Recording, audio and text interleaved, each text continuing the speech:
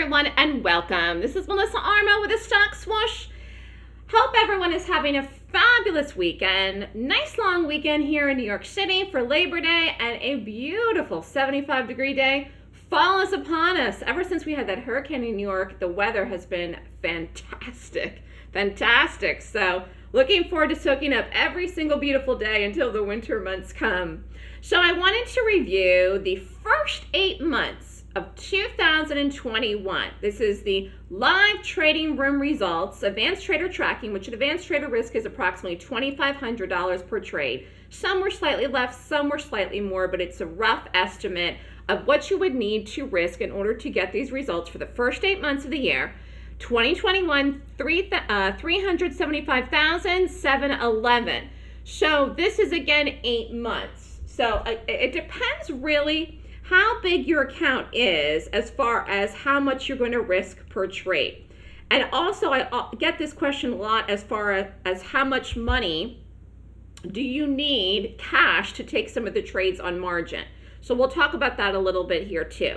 When you're taking a day trade, these are all equity day trades, you have to use margin. Now, if you go to a retail account, you're going to need a minimum of 25,000 to get 4 to 1 margin, which would mean you'd have 100,000 in buying power. If you go to a prop account, uh, there are some prop accounts you can open up an account with as little as $2,500. Most require 5,000 and you're going to get 10 to 1 margin. So for example, say you had 5,000 in account, 10 to 1 is you'd have 50,000 in buying power. But that doesn't mean you're risking all of that in every trade. For the advanced trader results, you'd be risking 2500 approximately per trade. And this is an average of about $46,000 per month, okay, in uh, results. As far as what I do, I, I use my gap rating system, and, and that's what I follow every single solitary day when I take the trades.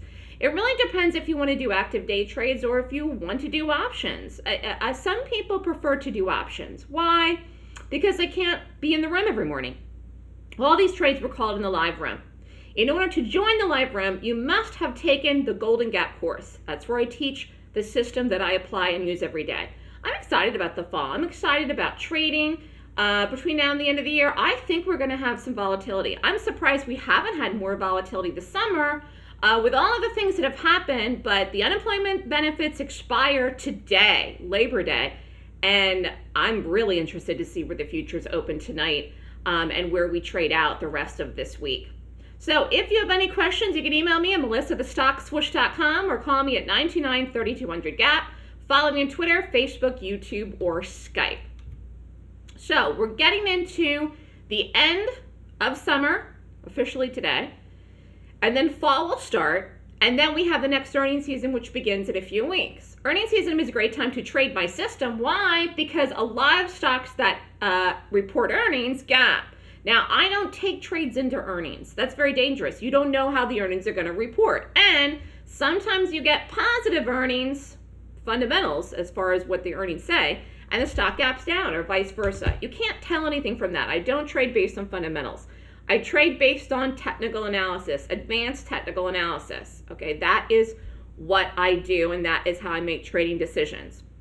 So, starting out the first of the year, uh, January, BA, beautiful, uh, short to go into the start of the year, which is funny because we did that so we did the stock so often in 2020 with the coronavirus. Uh, and and I said the other day, 50-50 chance that we have another shutdown. I wouldn't put it past this administration to have another shutdown. No way. And it could be this year, it could be next, who knows? All these variants that they keep talking about. We're living in a world that's the government has really overtaken uh, people's lives so much. Spy lost. Then on the 6th, two losers in Facebook. Retake did not work. BYND was a nice winner. Apple's a winner. Seventh, two in the BYND, one lost, one worked. Sometimes I'll do a retake. And, you know, I like that and that worked. The eighth was Boeing again, winner, CCL a winner. Got to get back to doing that CCL. Love that stock to trade. Nice small entries in the CCL and with a good profit, good volume. The 11th, Twitter lost, Facebook lost, Boeing lost, Twitter lost, Facebook lost, BA break even, Facebook won, and Apple won. That was a long day for me. You could tell when I'm doing a lot of trades, it's a tough day. The best days I ever had are one ticker symbol and done. 12th was Netflix one and CCL small winner. 13th was BA one, Twitter one on the 14th. WFC was a winner on the 15th, 18th closed for Martin Luther King holiday.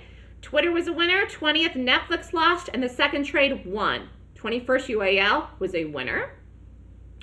Beautiful week here. 22nd IBM won, 25th Apple won, Verizon won in the 26th, 27th BA won, SPY won, no trades on the 28th, SPY lost, and the Facebook won in the 29th. No trades on February 1st. UPS lost, by one. Q's one loser, one winner on the 3rd. QCOM won on the 4th, SPY lost, then break even, QCOM loser, another break even on the 5th. Diamonds won on the 8th. I will do the market ETFs. They can be pricey, but you can do options in them if you don't want to do, you know, the day trades on margin. Ninth was IBM lost and Apple lost. 10th, ACAM lost, Twitter lost, then Twitter big winner. February 11th, SPY lost, Save won. Then the 12th, Disney lost, IBM lost, Twitter won. Close 15th, Twitter won. No trades in the 17th. WMT was a winner, Twitter winner. 22nd, BA lost, WMT won. No trades on the 23rd. Then on the 24th, Spy lost, Spy won, Twitter lost, Disney won. 25th, BBY lost, Twitter lost, and then another loser on Twitter. DPZ won. Foot Locker won in the 26th, Spy won in the March 1st. DDD won in the second, Ross won in the third, Spy lost, then won in the fourth, GPS lost, Facebook lost, and GPS lost on March 5th. Facebook lost and Apple won on March 8th. Facebook on the, I mean on the 9th, and March 9th was Stitch Fix. That was a good one, I remember that. March 10th, Spy lost and Stitch Fix won again. March 11th, Oracle won. I think Oracle's this week actually. Uh, March 12th, Oracle won again. Lilly won on the 15th. SPY won on the 16th. No trades on the 17th. Apple was a winner on the 18th. Nike was a winner on the 19th. 22nd, no trades. If I get up in the morning and rate the gap, and there isn't anything that rates per my 26 point rating system, I will not trade. I just won't do any trades. 23rd, Wells Fargo lost twice. Apple lost. Boeing, huge winner. 24th, GIS won. Loser in the Q's. Netflix winner, Apple winner. 25th, Spy lost, Spy won. 26th, Facebook lost, Apple won. JPM won on the 29th. The spikes have been rocking this year, which I'm shocked. Be interesting to see if that, that continues into the fall. March 30th, Apple won. March 31st, Lulu won. April off for that week, Easter. April 12th, no trades. Fast loss on the 13th, Apple won, and SPY one, two. April 14th, BBBY break even. April 15th, C lost, Apple won. April 16th, MS lost, BA won. No trades on the 19th. The 20th, IBM won, Netflix lost, and then second one was a winner. LVS lost, Netflix won. INTC winner, no trades in the 26th. Then getting up to the end of April, UPS was a good winner. That was earnings. And we did a put in that too. April 28th, Save lost, Starbucks won, and Microsoft won in the 28th. Most of these trades are shorts, but some of them are longs, just so you know. We mostly short in the room because we want the quick moves, fast, in and out between 9.30 and 10, but some of these trades are longs. If I don't find a good short, a good bearish gap, then I will look for a bullish gap. Uh, that's usually, you know, what I do every morning. April 29th, eBay won. April 30th, Twitter lost, then won. May 3rd, Twitter won. Microsoft won on the May 4th. No trades in the 5th. May 6th, Spy lost, Uber lost, Netflix lost, Etsy big winner. May 7th, BYND just did not work at all. Three trades and a loss. Then finally a winner. That was hard. Shack was a good winner though. May 10th, Q's winner. May 11th, Q's loss, Microsoft loss, Apple, Boeing, Spy. This was a crazy day. BA break even, then find the Spy worked. May 12th, Microsoft, two trades, one loser, one big winner, and then a huge winner in the Spy. That was May 12th. May 13th, Baba lost. Target, big winner. I have to look at Target tomorrow. May 14th, Disney won, Microsoft won on the 17th, and May 18th was AT&T for a winner. May 19th, SPY lost, Q's lost, AA won, big winner, SPY break even. Cisco lost on the 20th, KSS winner. 21st, no trades. BYD again won. May 25th, Apple lost, Shack lost, and then another loser in Shack. And DY was a huge winner. That stock can be really spreading, that DY, but it was a big winner. JWN Nordstrom won on the 26th, DLTR won on the 27th, and HPQ, which I love to trade, one on the 28th. Then June 1st, SPY lost. June 6th, Amber lost, Apple won. Off for the week of the 3rd, Stitch Fix lost, QQQ lost, Apple winner, and Stitch Fix a winner. June 9th, Campbell Soup 2 losers, QQQ loser. June 10th, Spy lost, Q's 1, Microsoft 1. June 11th, CCL lost, Microsoft lost, Lilly 2 winners. And then June 14th, Apple was a winner. No trades on the 15th. Oracle won on the 16th. No trades on the 17th. Again, you have to be disciplined when you trade. I also use stops. I use limit order stops. When I take a loss, which you see the ones in parentheses are losers, it's because I had a stop in. And again, sometimes I'll retake it. You're better off doing that than letting the trade go against you. You have to have a fixed risk. It has to be similar risk on every trade. That's how you make sure that you don't let yourself lose too much and you book the winners. June 18th, JPM1, SPY1 on the 18th too. June 21st, no trades. June 22nd, Apple lost second trade was a winner, big winner on the retake. QQQ's won on the 23rd, and KBH Builder was June 24th, and that was a winner. Think that was, yeah, I think that was earnings. June 25th, FDX won. I have to look at when this is. This might, FDX might be this week for earnings. June 28th, SPY loss, Q's won, no trades on June 29th. June 30th, Apple won, STZ break even. MU is a fabulous winner July 1st. Apple nice winner in July 2nd. Off for the July 4th holiday. BA won on the 13th. BAC won on the 14th. No trades on the 15th. QQQ's lost. Netflix won on June uh, July 16th. Diamonds won on July 19th. No trades on July 20th. And Netflix was a winner on July 21st. July was a really, really good month. July 22nd, LVS won. July 23rd, INTC won. July 26th, LVS won. July 27th, UPS won. July 28th, Microsoft lost. Cake won. PayPal won on the 29th and PayPal won on the 30th. And then I think I think July I, I hardly had any losers in July. Microsoft lost. Q's lost only had two losers in the month of July. July was a good month. Okay. Uh, August 2nd, no trains. August 3rd, T2 was a winner. August 4th, CVS lost. CCL lost by one. August 5th, Etsy lost. CVS won. EXP was a winner on the 6th. BA was a winner on the 9th. No trades on August 10th. August 11th, WW won. August 12th, Baidu won. August 13th, Disney lost. Baidu won. CCL lost. Baidu won and Q's won on the 16th, and BA won on the 17th. And then Target lost on the 18th. BA lost on the 18th. Q's won. And the 19th, BA was a big, big winner on August 19th. August 20th and 23rd, no trains. August 24th, AAP lost. Apple lost too. August 25th, Urban won. JWN won. DLTR won on the 26th. Peloton was a winner on the 27th. No trains on the 30th. And Zoom was a winner on August 31st. So first eight months of the calendar year. Average risk for these results again which is 375,000 plus for the first eight months of the year for 2021. This is the live trains call in the live daily trading room. And in order to join the room, you must take the class. After you do the class, it's $500 a month to be in the room, but it's a prerequisite to have taken the course. The trades set up quickly. Again, these are all equity trades, but I will tell you that there's a split. I'd say half the people in the room are doing day trades and options, and half are doing the just the day trades. So some people are doing both.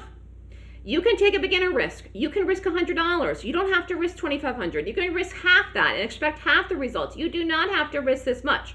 I've been doing this for a long time, okay? 12 years I've been doing this. So that is a long time. You do not have to risk this much. You have to know what you're doing before you trade. I say start out slow. But again, having goals is the right thing. And if you prove to yourself you're doing good at the first month, you can step it up. You can step up your risk. I'd say this year, 2021 has been a very, very, very interesting year, particularly for the market. We've never seen these kinds of uh, moves in the market on such negative, uh, with a, such a negative economic backdrop.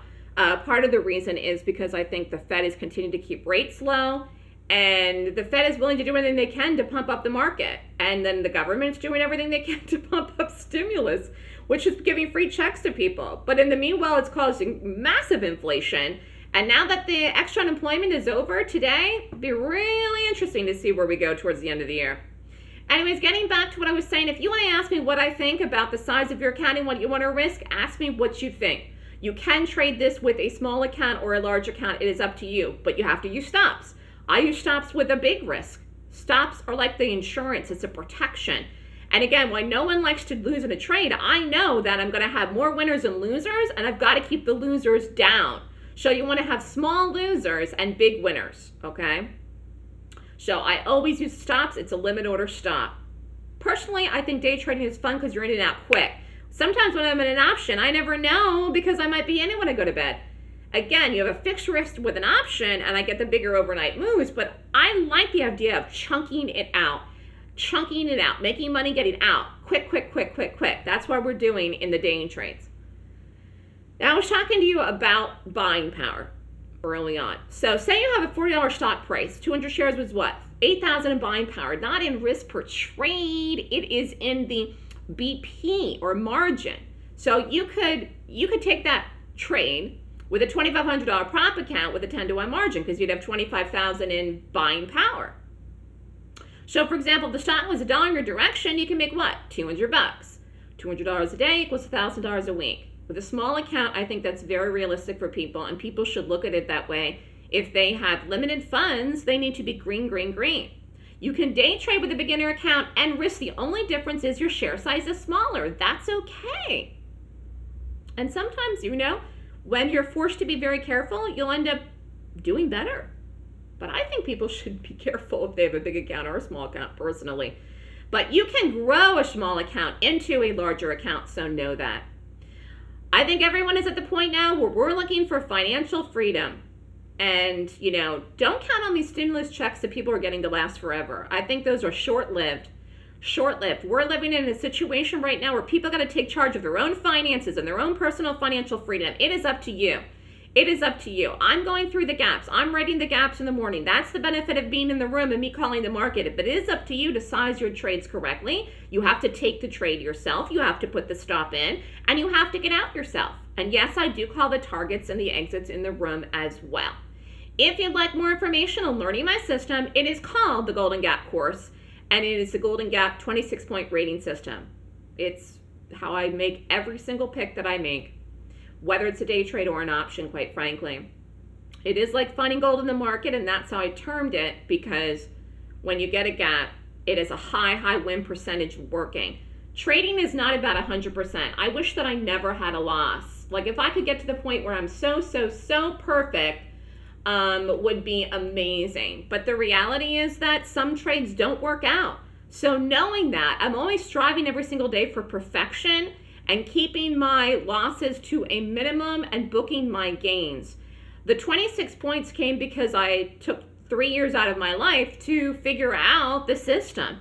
And again, if I could come up with 56 points, I would. Trading is about odds. You need to keep the odds in your favor. High odds. The higher the odds, the higher the rated gap, the higher chance of success if the trade is going to work and the more money I can make. Lower rating gap, low odds. So you don't do it. Okay. So the class is online if you were interested. The next class is September 25th and 26th, 9 a.m. to 5 p.m. Eastern Time. Class tuition, everyone pays the same price. It's 6,999 US dollars.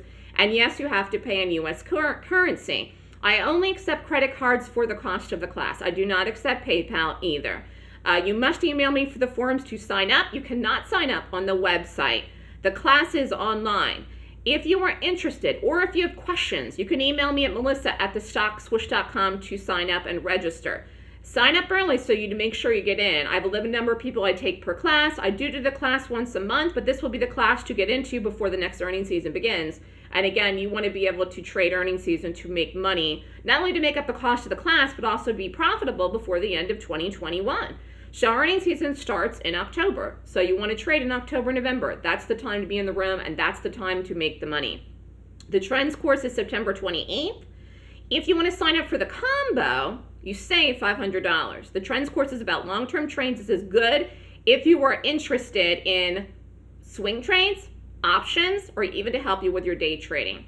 You will save if you sign up for both together. $74.99. Again, class is this Tuesday of that week after the uh, big class, 11 to 3 p.m. Eastern Time. If you're interested or have questions, email me and Melissa at thestockswoosh.com or call me at 929 3200 GAP. Have a great day, everyone.